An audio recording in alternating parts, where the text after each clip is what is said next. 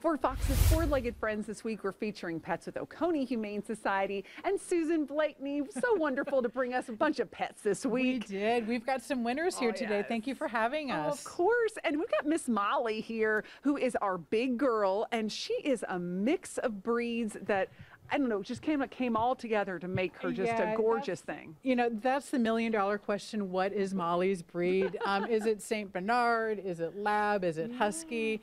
Um, certainly, you guys can come on out, meet her, and you can, she can be whatever breed you want her to be. Well, th- those are the healthiest dogs too, right? That have all the different breeds. mixed in. Exactly. Yeah, that's that's a true statement. But she, um, we've had her for several weeks now. She's two years old. Um, she's a full-figured gal, um, and she's loaded with personality. Um, I think in her bio I said she shines from the inside out.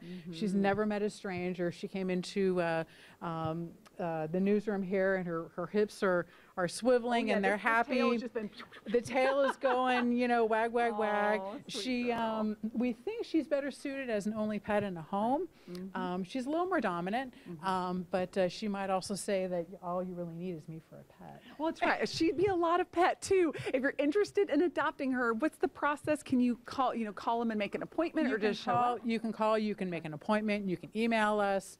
Uh, whatever you do, just come and uh, um, bring this beautiful girl home. Sounds good. And that's Oconee Humane Society. If you're interested in adopting our sweet Molly.